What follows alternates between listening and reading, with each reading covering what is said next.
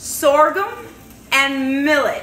Two ancient grains you must know about if you're going to be following a lectin-free diet.